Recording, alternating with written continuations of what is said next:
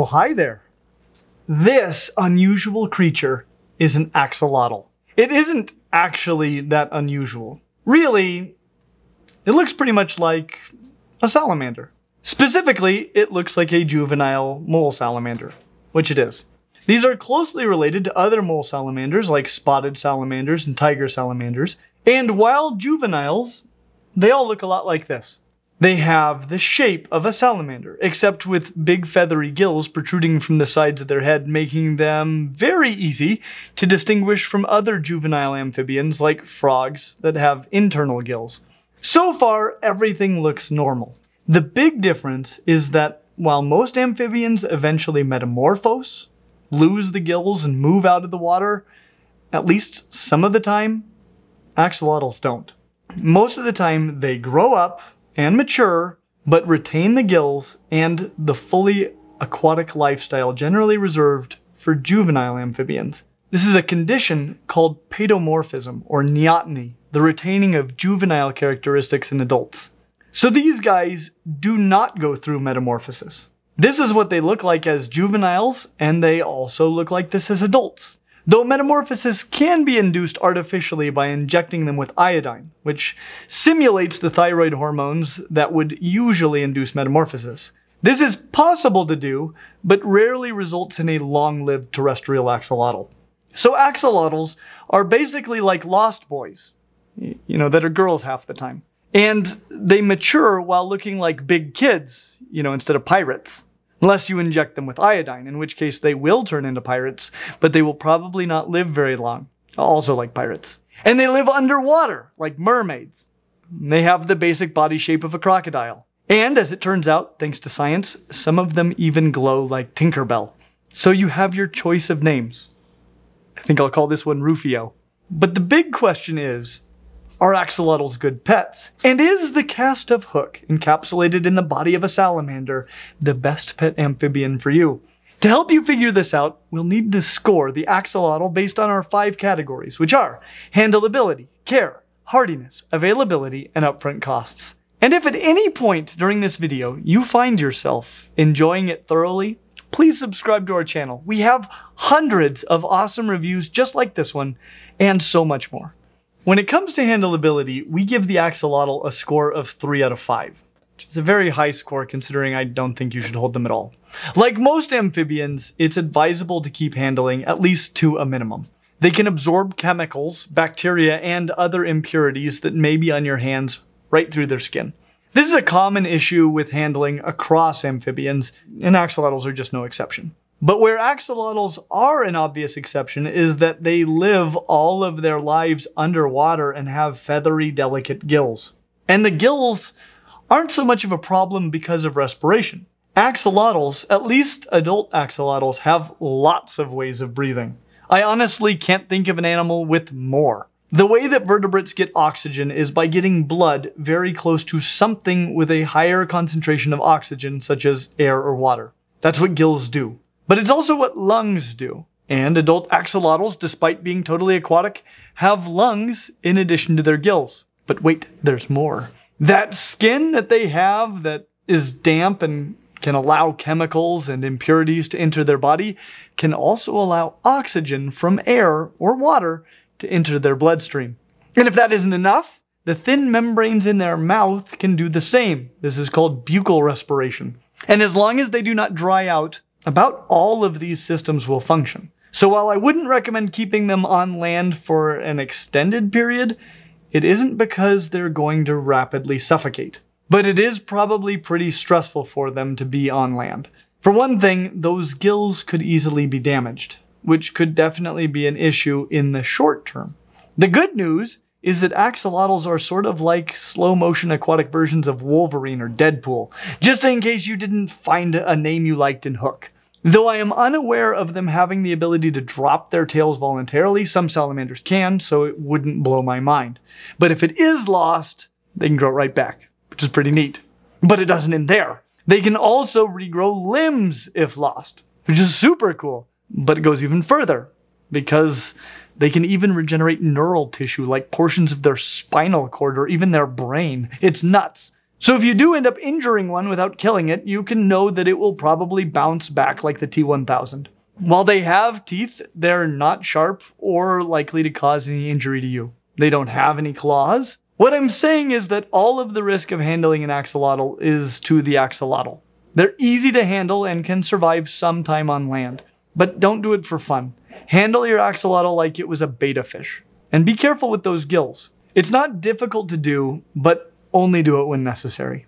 When it comes to care, we give the axolotl a score of 3 out of 5. This is a fish. Not only phylogenetically, as I would consider all tetrapods to be fish, at least if shark and trout are both fish, but in terms of care, there is just nothing about this animal that sets it apart from fish. Specifically, a relatively cold water fish. We're talking temperatures in the mid 60s Fahrenheit. That's around 18 degrees Celsius or 291 kelvins. That's probably colder than your home. If you keep your home too much warmer than that, it will place the health and life of your axolotl in jeopardy. So what does all this mean? Well, it means that you need to set up and run a fish tank and you will probably need a chiller. That isn't the hardest thing in the world, but it is definitely a bigger pain in the neck than what you get with most other mole salamanders. And if I need to set up a temperature controlled fish tank, there are a lot of other fish that are more fun to watch than axolotls. Keeping a fish tank means that you will need to understand things like the importance of dechlorinating and conditioning water, how to cycle an aquarium, pH, and other water parameters. We explain many of these in our video about freshwater stingrays. And, like freshwater stingrays, axolotls make a big mess in terms of nitrogenous waste. This means that you need a good filter and frequent water changes. But be sure that the water flow is not too fast. Some things unique to axolotls will be your choice of substrate and the need for cool water. Axolotls, like many fish, are suction feeders, but they have a nasty habit of sucking in pieces of gravel larger than they can pass through their digestive tracts, leading to impaction. Additionally, their scaleless, delicate skin can easily be damaged by rough or sharp substrates. In general, this means that fine sand is the best substrate for them. Rinse it thoroughly though, or it will make a terrible mess of the water. To keep the water cool, your best bet will be a chiller. Given that they can potentially grow to be over a foot, are messy, and need their aquarium to be temperature controlled, I would recommend an aquarium around 20 gallons for one axolotl. You can get away with a smaller one, but it's going to be more difficult to keep conditions right. As for food, axolotls are optimistic carnivores.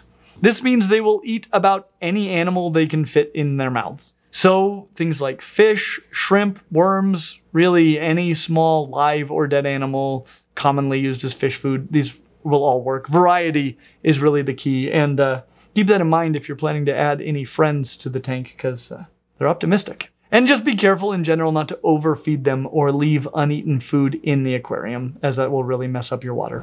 I'd like to take a moment just to say thank you to our patrons at Patreon and to draw your attention to the fact that every week for our patrons, we have an entire extra video called Patreon Extras. And I can tell you this week's Patreon Extras video is a doozy and you probably don't want to miss it. So if you don't already support us on Patreon, maybe, maybe go at least check it out. And uh, if you do, thank you so much. You are allowing us to do so much and I hope you enjoy that video. When it comes to hardiness, we give the axolotl a score of 4 out of 5. Assuming that you give them proper care, they should be pretty hardy. Problems are likely if you don't give them the correct substrate. Even no substrate can lead to stress. Also, if you don't monitor and maintain proper water conditions, then you can have all kinds of problems. And if you keep them too warm, well, you can have problems. Also, avoid overfeeding. These things all factor into care, but they are different than the needs of most reptiles and even other adult amphibians, so don't mess them up. For all intents and purposes, it's a fish. A fish with four ways of breathing that can regenerate parts of its own heart and brain if injured. I mean, they're hardy.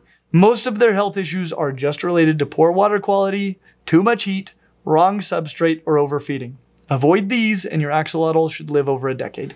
When it comes to availability, we give the axolotl a score of 5 out of 5, which is a lot more than can be said of their wild populations. These guys come exclusively from a few lakes near Mexico City, Mexico. Water pollution and invasive fish have reduced the wild population down to somewhere between 50 and 1,000 individuals, according to the International Union for Conservation of Nature and Natural Resources. It is not at all unlikely that they will become extinct in the wild in the near future. That said, they are thriving in captivity. We've been keeping and breeding them in captivity for well over a hundred years. Due to their relative ease of care, hardiness, and incredible regenerative ability, they have become a very popular subject for research. Genetic research has provided us with a number of interesting natural mutations such as albinism and leucism.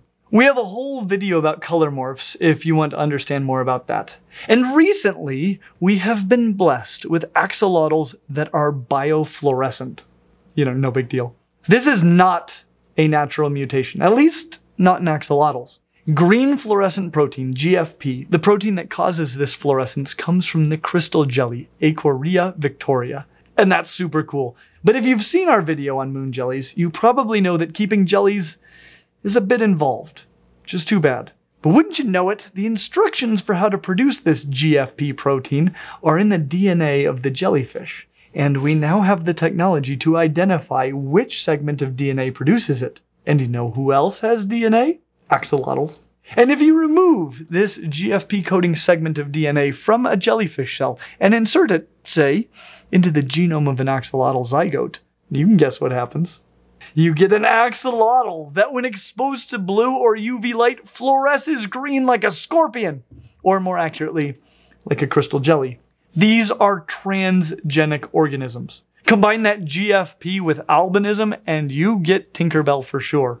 What all this means is that axolotls are not only very common in captivity, but they're available in a wide and in fact crazy diversity of colors and degrees of luminescence. These axolotls all come to us from Animal Ark in Orem, Utah. They have an impressive selection of healthy axolotls, as well as a wide diversity of reptiles, amphibians, fish, birds, arthropods, and basically all of the kinds of things we tend to talk about on this channel. If you're ever in Orem, Utah, say as part of your trip to visit Clint's Reptile Room, then you should totally drop by Animal Ark and check it out. But if you want to get an axolotl, they're very available in pet shops, expos, and online. They're doing well in captivity. This means that while they may be lost in the wild, they're likely to endure in captivity for a very long time.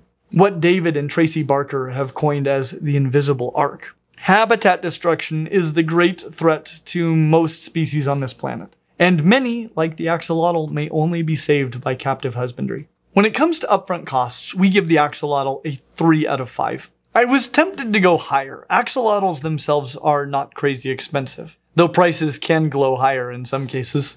This is not an appropriate aquarium for an axolotl, but the aquarium you need is pretty inexpensive for a fish tank, but it's still a fish tank. And chillers will be around the same price as a heater, which you won't need, though some chillers are considerably more. Water conditioner, sand, and food are your main other costs. A full spectrum light will be needed, especially if you want to see your GFP do its thing. And you will need water testing supplies. And this is why overall we give the axolotl a score of 3.6 out of 5. If what you want is a fish, but with legs, and you want it to have the ability to regrow those legs, and also most of its other body parts, and it wouldn't hurt if it could fluoresce like a jellyfish, then the axolotl might be the perfect pet, well, non amphibious amphibian for you. As always, like and subscribe, and we hope to see you real soon. Hello, friend.